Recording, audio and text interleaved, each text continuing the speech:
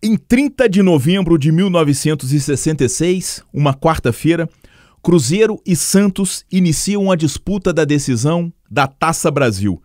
O Cruzeiro vencia por 4 a 0 quando aos 41 minutos do segundo tempo, Dirceu Lopes sofre pênalti de Oberdan, Tostão cobra e decreta o inacreditável placar de 5 a 0 para o Cruzeiro sobre o Santos de Pelé no primeiro tempo da partida que deu início à decisão da Taça Brasil de 1966.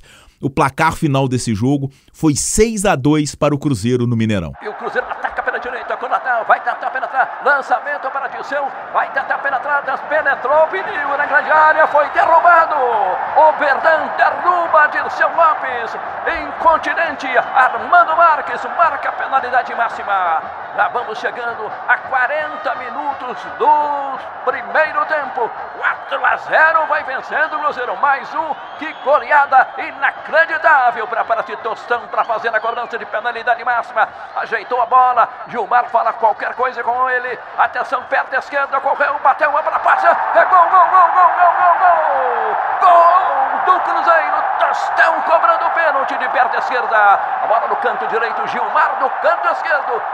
Inacreditável, inacreditável esta goleada do Cruzeiro aqui no Mineirão. 5 para o Cruzeiro, Tostão marca o quinto gol, 0 para o Santos, o maior time do mundo. Sensacional a torcida, vai a loucura aqui no Mineirão.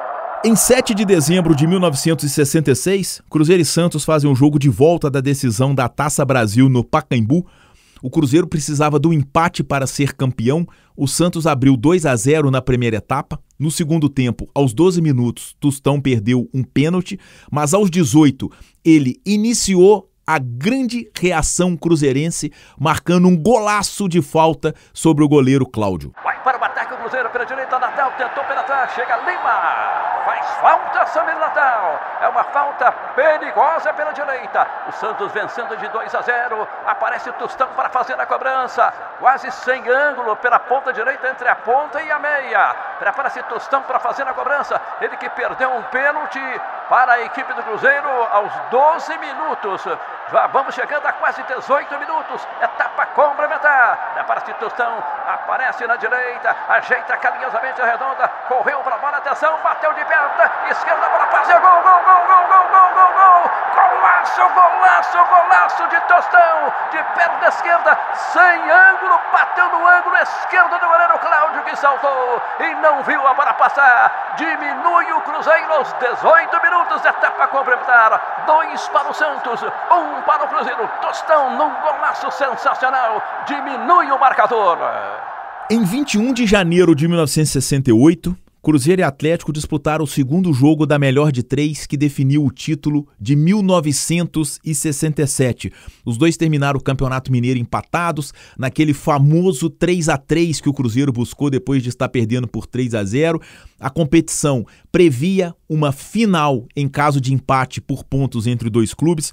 O Cruzeiro na primeira partida decisiva, em 14 de janeiro, fez 3 a 1 no Mineirão e no segundo jogo, Tostão abriu o placar aos 41 minutos da etapa inicial. O Cruzeiro venceu também essa segunda partida por 3 a 0 e conquistou o tricampeonato mineiro, a primeira grande sequência da era Mineirão. Decisão no Mineirão.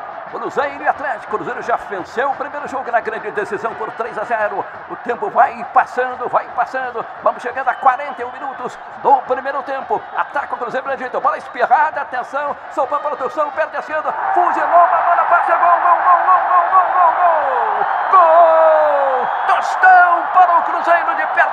canhota. Belo gol desse extraordinário atacante Celeste Tostão. Quando eram decorridos 41 minutos, o Cruzeiro faz mais um, fica muito perto do título do ano de 1967 do futebol mineiro. Tostão, Tostão, excepcional atacante Celeste.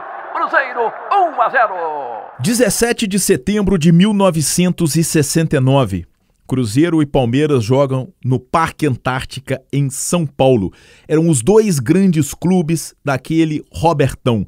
Foram inclusive campeão e vice com o time paulista ficando com a taça por apenas um gol a mais de saldo. Mas este jogo, quem levou a melhor foi o Cruzeiro. Venceu por 1 a 0 com um gol de Tustão aos 38 minutos do segundo tempo. Recolheu o Zé Carlos, volta o Cruzeiro a todo vapor à procura do gol. Bola agora com o Rodrigues na ponta esquerda, vai levantar, levantou muito fechado. O balão é para Minuca, todo o vai marcar.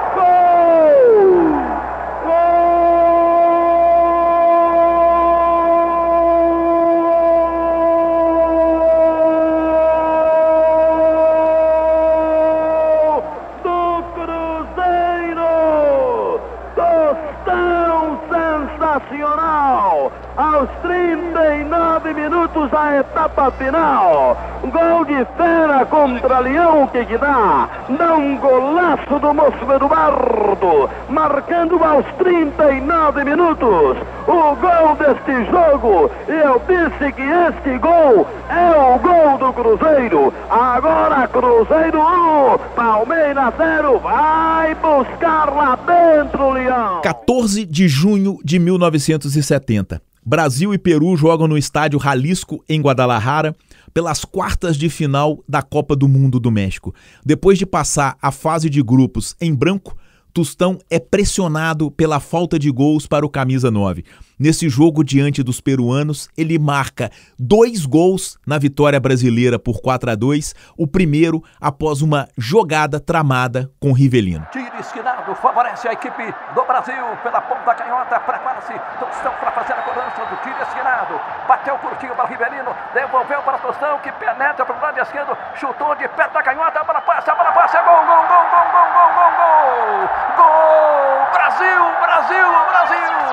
Tostão de perto da canhota no canto direito do goleiro Rubinhos da equipe peruana. O Brasil faz 2 a 0 quando eram decorridos 15 minutos do primeiro tempo. Pode ser uma goleada da equipe brasileira esta tarde na Copa do Mundo.